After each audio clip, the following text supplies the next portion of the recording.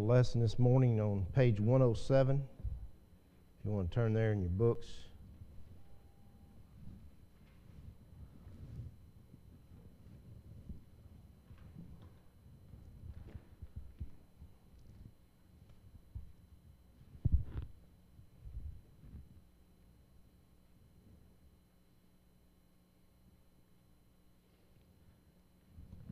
Let's begin our class with prayer. Our Father in heaven, we're thankful for all you do for us. We're thankful for this day that you've allowed us to come together and be able to open up your word, study from it, to be able to hear a message a little later on uh, brought that will enlighten us to what your will for us is and help us to, to be motivated to, to do more compare our lives with this, the scripture teachings and determine where we need to make adjustments. We're thankful for your love for us. We're thankful that you were willing to give your son, that uh, he could be that sacrifice that would be able to take away the sins of the world. We're thankful for his love and his willingness to go to the cross for us and to totally give himself up that we might be able to obtain salvation through his cleansing blood.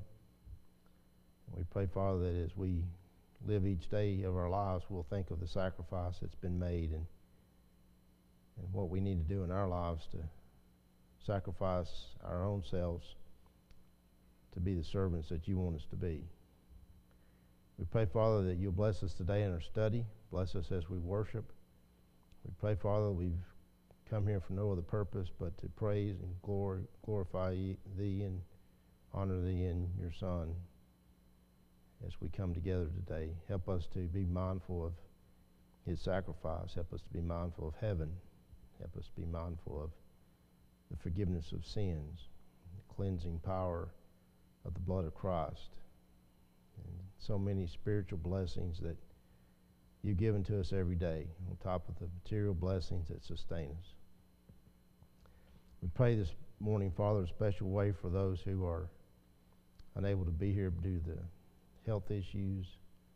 Uh, we pray, Father, that you'll bless them and give them strength and uh, renewed health that they might be able to be back with us. Pray, Father, for those who are indifferent to being here this morning. And we pray something would be said or done that would change their minds. We pray, Father, that the world would have open ears and hearts to the gospel. We pray that the gospel might have free course in this world. We pray that there might be many who at least come to an understanding of the truth and be able to make a decision what they would choose to serve. We pray, Father, you'll uh, be with us in the days ahead. Help us as we make our decisions and help us not lose sight of our goal of heaven. We ask all this in Christ's name. Amen. There are people today who teach the uh, idea of being predestined. Um, the idea that it doesn't matter what we do in life, God has already decided who's going to be saved and who's going to be lost. Um, it's hard to understand the concept or the, uh, the beginning point for that uh, religious belief, but it exists. There are people who believe that. It doesn't matter what we do. We want to look at some passages today and talk about that in, in quite a bit of detail it is a disturbing viewpoint, um, and it has much difficulty, at least in my mind, uh, in, in how you deal with that. Because if we're predestined to be saved or not saved when we're born, how do we know that? How, how do we know when we're born? Um, there's just there's no ev- there's no evidence. There's no proof of it. Uh, here's a child born into the family, and and then later on maybe there's another child born into the family. The first one was was destined to be saved, but the second one wasn't. Or perhaps God is predestinating people in terms, from this religious viewpoint, people in terms of maybe this whole family is going to be saved, but this family's not. How do you deal with that? How do you understand that? How do you come to an understanding of who is going to be saved and who's going to be lost? Because the doctrine that they teach is it doesn't matter what you do in your life, you're already predestined when you're born. And so I, I, don't really know how to deal with that. First of all, like I said, how do you know who is predestined to be saved and who's predestined to be lost? How do you know that?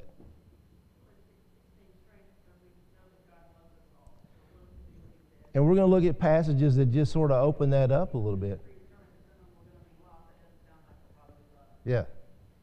We're going to look at some passages that deal with that as we get started this morning. And, and so I, I, thought about this and, and how to um, try to take the doctrine of predestination and maybe weave it with Scripture to some de- degree to say, well, um, maybe there's I mean, I, I struggle with it. How do you, maybe there are people in the world, as we look at Scripture and God encourages us to live a certain way, and then maybe if we make the decision somewhere in our life that we are going to live right, that was predestined that we were going to do that. Well, it just doesn't make a lot of sense uh, of what we have to deal with. Um, and so that there, there it is in Scripture. Well, you know, you, you can choose right from wrong. Well, that starts taking into account what we refer to in this lesson. And um, we've talked about it from time to time free will, the, the freedom for you to make a decision. And, and the thing we're going to see in Scripture is, first of all, that God has made it clear in Scripture that He wants all people to be saved. Uh, 1 Timothy 2, 3, and 4, there on the first page of your book. This is good and acceptable in the sight of God our Savior. What is? This is good, who desires all men to be saved and to come to the knowledge of the truth. He desires all to be saved. It, it's not, if, if predestination was a doctrine that God had, or a, a teaching or whatever that God had put forth, then he would have said in, in some way to communicate with mankind, these people are going to be saved, or these people are intended to be saved. And so I want to push these people in a certain direction so that these people can be saved. And that these people over here, that they were predestined not to be saved, so, you know, we're not going to really bother with them. That, it, it, if that's the way, I mean, you look at it, how do you, how do you look at it? Um, if you look at it simply from the standpoint that predestination is a truthful religious belief that people have, then, in the very basic bottom line, it doesn't matter what we do. You know? It doesn't matter what we do. We're either going to, we were predestined, we were predetermined to be saved or lost. And so, first of all, how has that been communicated to you? You're, you're born, you get to a certain age where you can start to think a little bit for yourself. Which category do you fit into? Were you predestined to be saved or to be lost? I don't know. I mean, how, how do you know? We're not born with some kind of a, a, a mark on us that gives a, an, a, immediate identity oh, that's one of those that's already predestined to be saved. And so, first of all, we just don't know that. How would you know that if, if you have that belief? Secondly, it doesn't matter what you do according to their doctrine. It doesn't matter if you live a life just full of sin, you're already determined to go one place or another, which defies all logic. Our God is a God of thinking, He's a God of plain um, laws and rules to live by. If, if you look at how He's laid them out, if you do this, then this is the way it's going to be. If you don't do this, this is the way it's going to be. Why do you even have those? There's no need for us to have any teaching whatsoever if we are predestined. We're not going to change what we were predestined to be, where we're going to go. It's, it's not anything we have control over. And so there's no need for us to do good or evil or whatever. We just do what we feel like doing. And it's going to turn out the way it turns out. That's just not consistent with Scripture. Here we see that it's good and acceptable in the sight of God our Savior, who desires all men to be saved and come to the knowledge of the truth. Acts 17 and verse 30, we've talked about that in the last lessons or so. Mars Hill, these people were worshiping everything that came along. Some new teaching came along. They say, hey, hey, this, somebody's got something new here. Let's, let's set them down and hear what they've got to say. And Paul says, okay, I'm going to talk with you. And he says, I'm going to tell you who the, the true God is. And he begins to explain to him that he made the universe and all these things. And he says that the times of this ignorance, you just going around just finding something and trying to worship it, God winked at. But now commandeth, and we can't get any clearer with these words, all men everywhere to repent. Why would you have something like that if you're predestined? Why would Paul take the time to spend speaking the gospel, presenting the gospel? Why would anything in the world we do in terms of religion be of any value other than the fact that God has said, I want all to be saved. So here we have it here. Here's, here's a passage in 1 Timothy chapter 2. He wants all men to be saved. In Acts chapter 17, he wants all men to repent. What's the reason for that? Because there's going to be a day of judgment, and he wants people to be saved.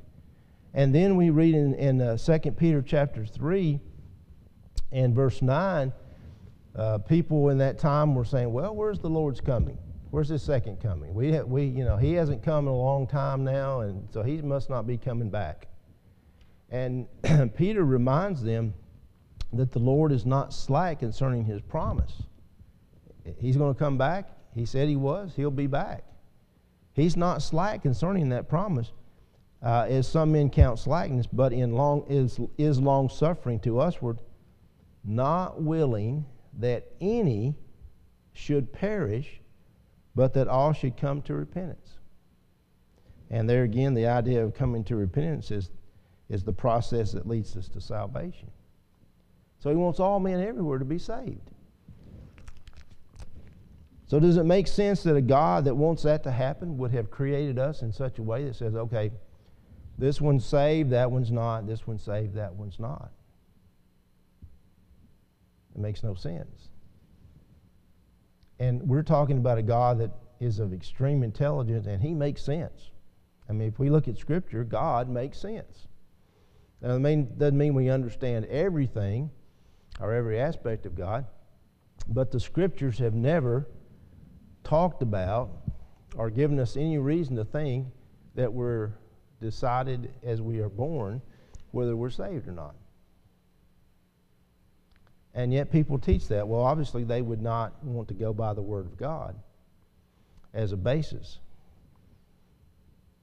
But how do you deal with that? We have an intelligent God. God created us and we're all going to be uh, predestined according to their belief to be saved or to be lost, why do we go through the problem of writing Scripture over hundreds of years of time with multiple authors, all with a common theme of God and God giving man the choice to make a decision on which he will do, to be good or to be evil.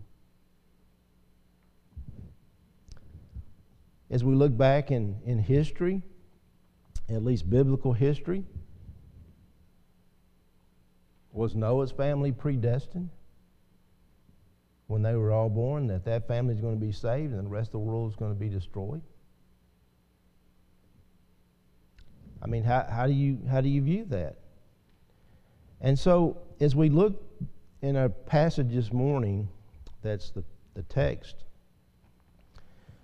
um, the main text for the lesson, Isaiah 1 18 through 20.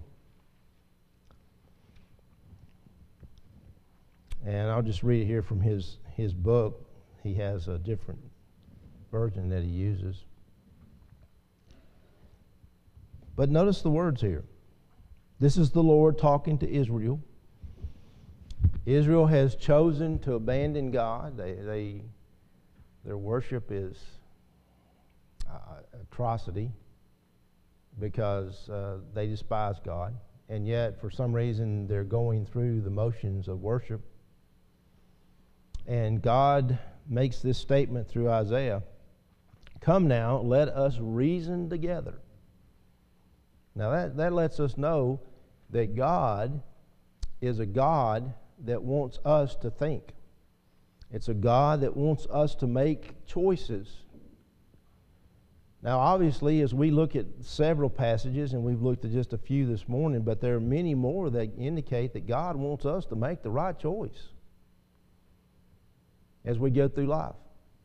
Not to say, hey, I don't know what I was chosen at birth to be lost or to be saved, but it doesn't matter. I'm just going to do whatever I want to do, what feels good. That just doesn't coincide with God's teaching. And here we see them in a situation where God says, Your, your life's not right. You, you're, you're following after uh, the wrong ways. You're going down the wrong path. Uh, this is to Israel. And God says, Come, let us reason together. Let's think about this. Let's talk about it.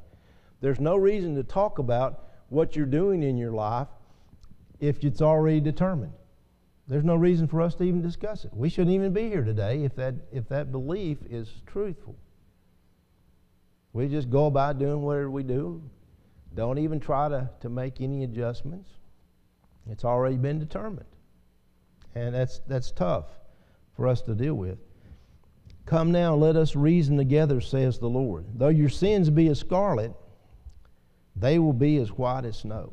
Though they be, uh, they are red like crimson, they will be like wool. If you consent, there's the decision being made. If you consent to follow my way and obey, you will eat the best of the land. If you refuse and rebel, you will be devoured by the sword. Truly, the mouth of the Lord has spoken. Now, does that make sense to come from a God who says it doesn't matter what you're doing in your life, you're already predetermined to be saved or lost? Why would God, an intelligent being, go through all the painstaking effort that He's done to bring about the ability for man to choose between right and wrong, good and evil, light and darkness, truth and error. Why would he do all that he's done throughout Scripture to give us the guidance, the instruction, the teachings that would help us to choose good over evil or right over wrong? If it doesn't matter. And so God here says, you can make a choice. That's just like he's having fun. Let's just let's just manipulate them a little bit. It's like, can I let's see if I can get them to go in this direction. And you know, that's not the, the God that uh, we see in the Bible. Let's reason together. There, he's saying, let, let's talk about this. Let's think about it. And that's what we do when we come and study Scripture. Why do we come to Bible class? We come to learn, obviously, but we come to reason. Let's, let's, let's reason this out. Let's make sense of this.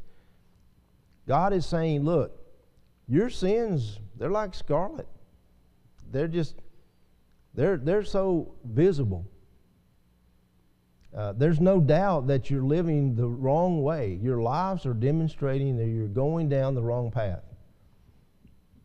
So he first points out to them the, the, that they're in error, they're in sin. And, uh, and then he says, Let's, What can we do about this? What can be done about this? And God says, If you change your way, if you'll consent and obey, you can have the best of the land. Now, if none of that matters, you know, you would have to consider the Bible as just a big hoax, that God's not really who the Bible portrays, and that we have no choice in, in this whatsoever. And yet, God has made it clear throughout all Scripture that man has always had a choice. He always has the ability to choose what's right and what's wrong. And then he lets it be totally clear for us. It, I think visibly clear in the Old Testament, but more, more clear in the New Testament that we have the ability to decide our course. We have the ability. God has laid out the course for us. He has given us information that lets us to know which course we're on. He's given us the the the, the um, mile markers. He's given us the signs, the road signs uh, of life. And he's, he's told us that if you go this way, here's what the results are going to be. If you go this way, here's what the results are going to be. And he's made it easy because there's only two paths. And, and, and so, why would God go to all that trouble? The only explanation would be like, he's just trying to play with us. He's just trying to trick us. He just wants to see what we'll do. And he's just laughing at us. That is not what's portrayed in Scripture. God's a God of concern. He's a God that has always guided, has always provided uh, instruction. God was not the kind of God that would say, Well, you've chosen the wrong path and you've been going down it for a long time. No, God was the kind of God which always said, You're fixing to make a mistake. Don't go down that path. He was always a God who says to the people in the past that says, You stay in this path, this is the way you need to go. That path is dangerous. That path is not the right way to go. He didn't just let people make a choice, and then once they got so far down the path, he said, Well, you're on a good path. You have been on a bad path. He's always instructed and try to provide upfront information that says, Here's the good path, here's the bad path. And warning signs along the bad, bad path that said, Turn around. Turn around. You're going in the wrong direction. Passage after passage after passage, God has always provided that. Now, He's either a cruel God and He's just laughing at us because we're just like a bunch of mice in a maze and He's, you know, putting the buzzer on every once in a while and we're reacting to it. Or He's the God the Bible portrays that always wants us to choose what's right. And that we have a choice in determining where we end up. God's not forced us in any way. He's never forced us to go down the good path or the bad path. We have gone down those paths because of choices that we have made. And for the most part, uh, we might be able to claim some ignorance on occasion, but God usually always gives us indications that we're going in a certain direction. And it's clear the results of what we can expect. This is not the first time that God has talked to Israel about you're going down the wrong path. Let's try to get your path straightened out. And if you'll listen to me, you'll get the best of the land. That, that's happened all over the place. Here's what I want you to do. If you do it, you're going to be blessed. If you don't do it, there's going to be some, some things that happen that are going to be not that good. In the preceding verses from, from 18 through 20, verses 16 through 17 of Isaiah chapter 1, he says, Wash yourselves. You're dirty.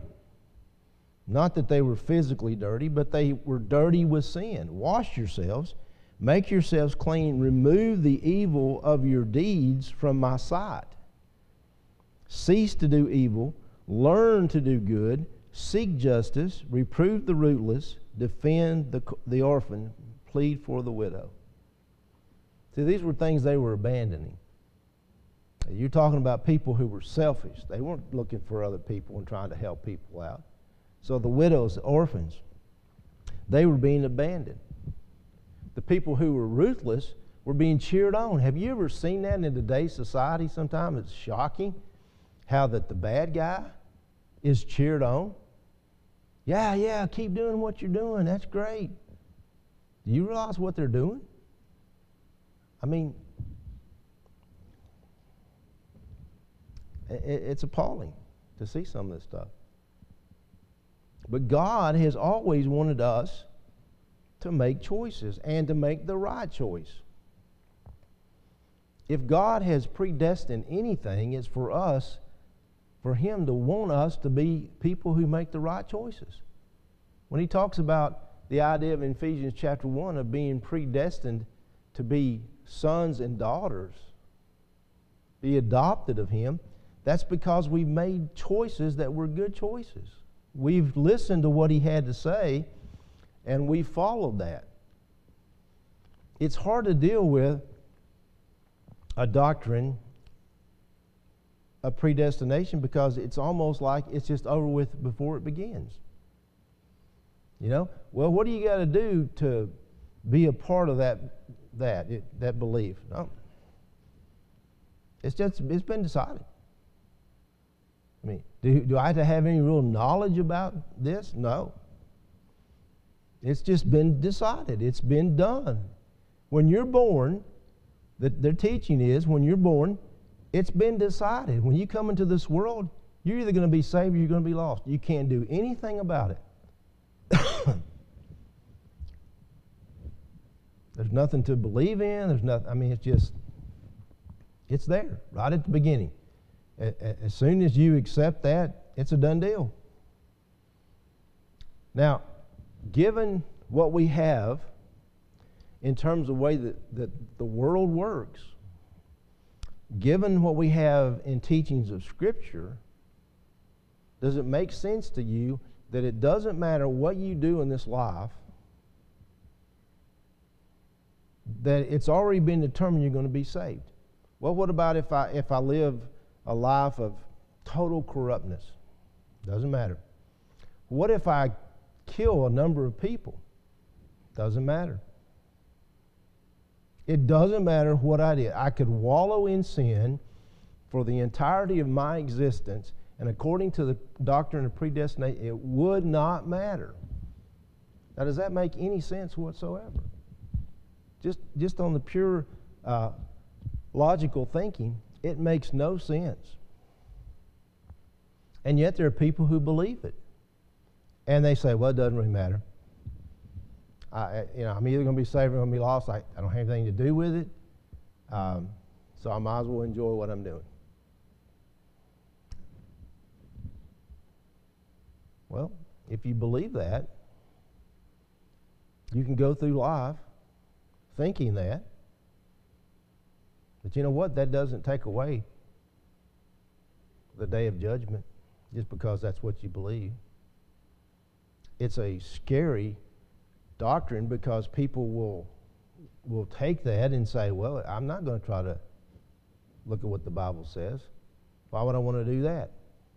It's not going to make a difference. It's not going to change where I'm going." I, I don't want to sit down and reason with the Lord.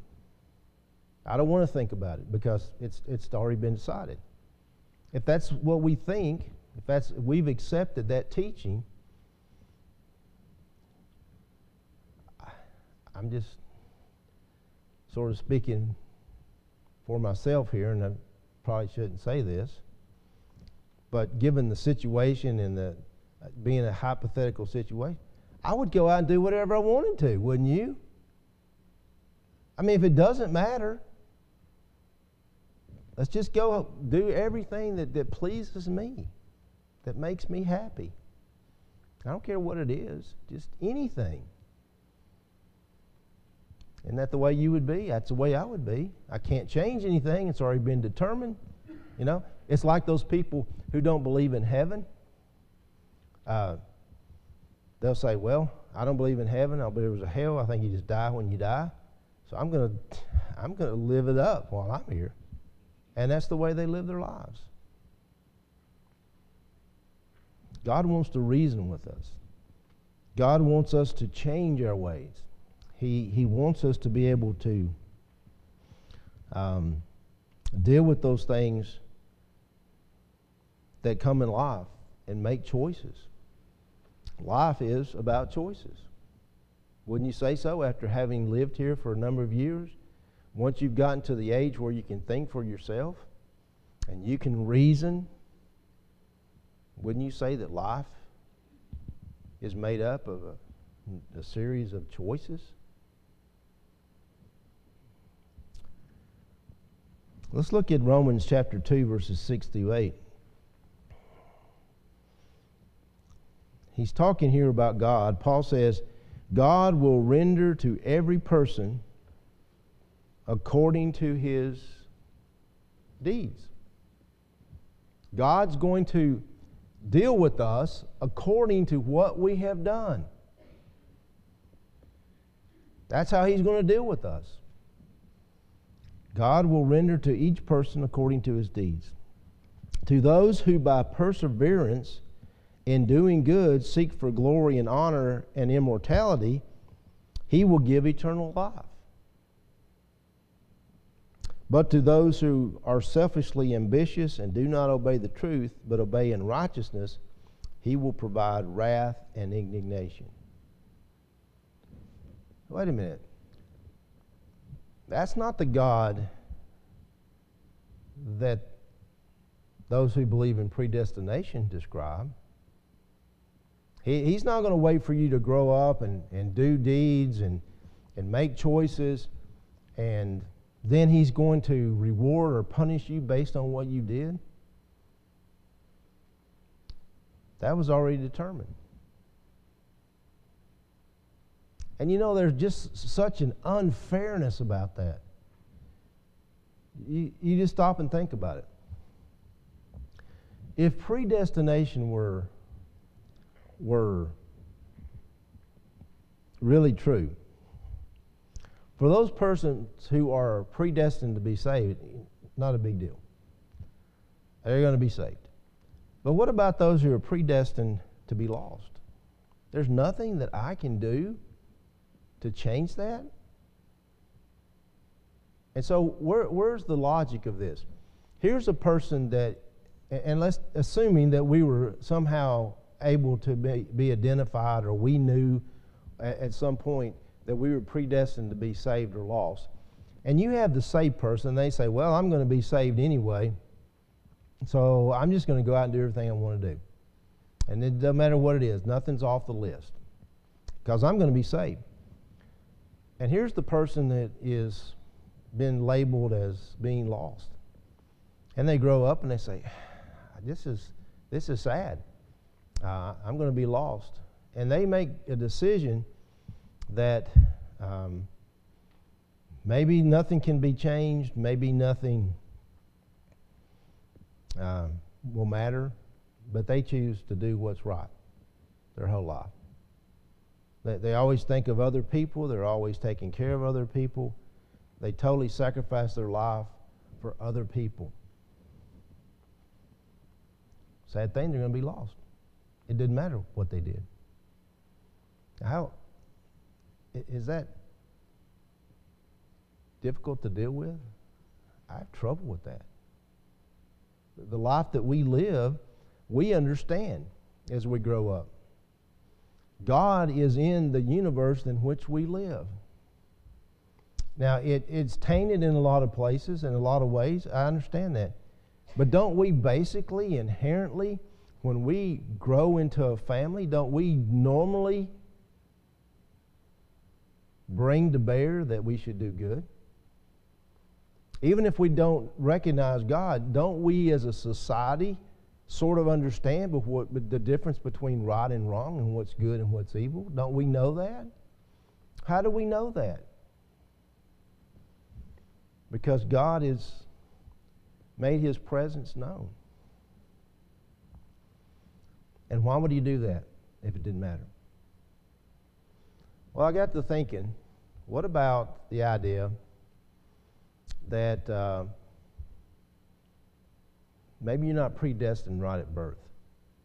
Maybe, maybe let's just say, for example, people come along, they make some choices, and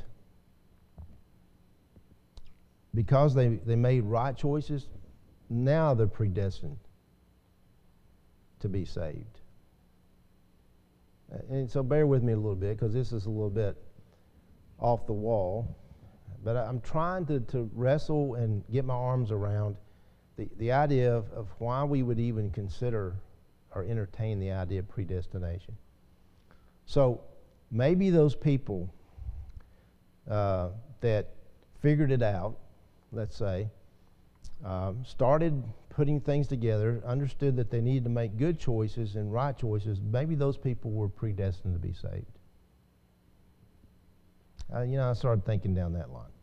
So that there are people who over here had struggled through their lives, and uh, they, they made some good decisions on occasion, but they, they just kept, seemed to make some bad decisions along the way. And we've seen people like that you know, you seem seem like you, know they've finally gotten themselves pulled up to a, a point which where they may be productive in society and maybe they're they're trying to get their lives together and then they make another bad decision. And so they go back down there again. Were those people predestined to be lost? And so I struggle with that. But I struggle with their doctrine. And yet, their doctrine is it doesn't matter what you do, what you, you decisions that you make, they're not going to matter. But God has always given us choices.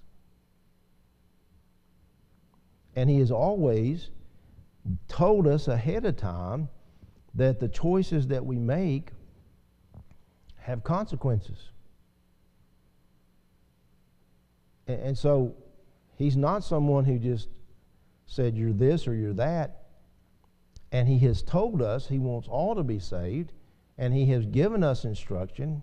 He's made it clear to us that salvation is based upon something that He has provided. He's provided that way of salvation every time. Continue on in Romans chapter 2 verses 9 through 11. There will be tribulation and distress for every soul of man who does evil, of the Jew first and also of the Greek. But glory and honor and peace to everyone who does good, to the Jew first and also to the Greek. For there is no partiality with God. And if we talked about predestination and God's role in that, would that not be a partiality with God? Unless it was just a, a thing that happened. God knows all. Let's say that here's, here's baby uh, X over here that was just born. All right, God says, what was next on the list? Oh, you're going to be saved. Then all of a sudden, in time, baby Y comes along. Well, you followed baby X, and baby X is going to be saved, so you're going to be lost. Is that how God would do it? And not be, and to be impartial?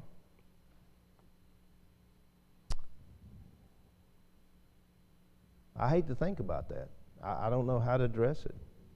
I can understand, I can comprehend, I can, can, can get my senses wrapped around the idea of God saying that I'm going to give everybody an opportunity to be saved and I'm going to provide everything that I can for you to be saved. I'm going to give you all the, the, the warnings and um, and, and Old Testament examples of where people had gone against my teachings. They had the choice to do that, and here are the circumstances and consequences. God has always said, I want you to be saved. If God had changed his mind at any time down through a series of time, he could have said, you know, that plan that I'm going to put in place where I send my son, and he'll offer himself up as a sacrifice, and he'll shed his blood. I've just sort of gotten tired of that process. It's taken a long time, and mankind has just really uh, frustrated me, and I'm just going to not do that. But God has always provided for us the way of right living, the way that we should go, and shine the light on that path and say, This is the way I want you to go, and here's how you get there.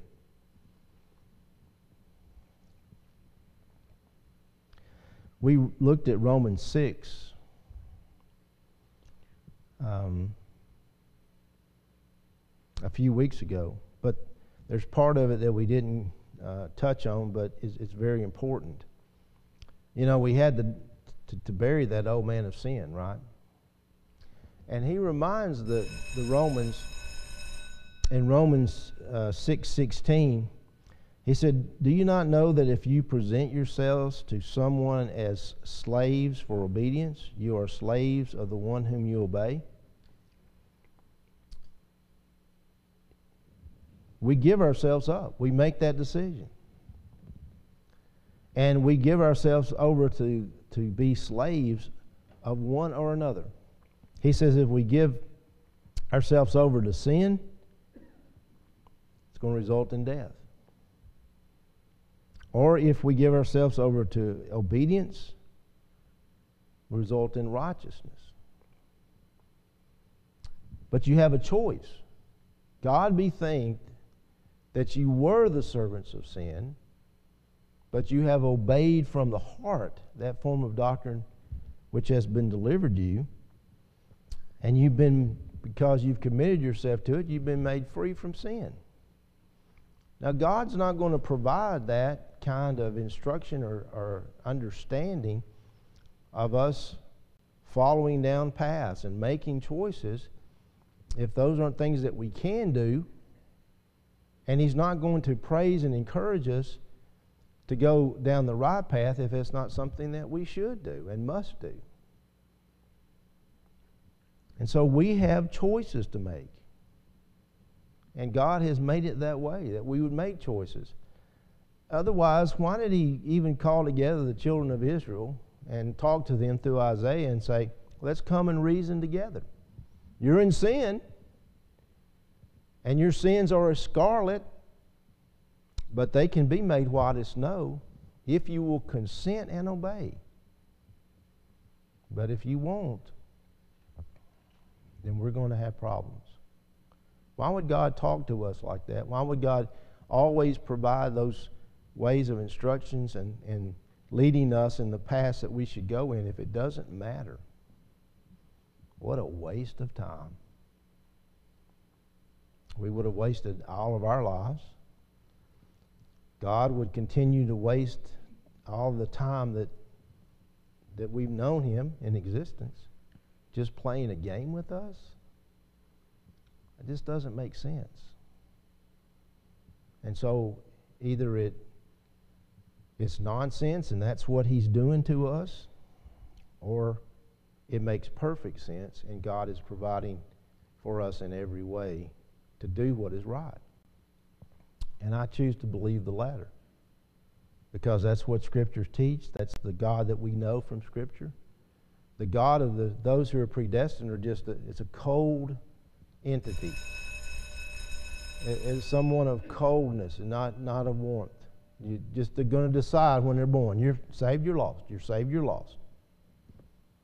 That God does nothing according to them but, but say you're saved, you're lost. He has no interaction with them. There's no coming to know God and coming to know His ways. It's just a just a hard line that's drawn, and you're on one side or the other, and I just have trouble being able to accept that. We will continue to look at a few more scriptures next week. Uh, may get through quick. Go ahead and do your activities in the back of the book, and we'll see how far we get. Thanks for being here.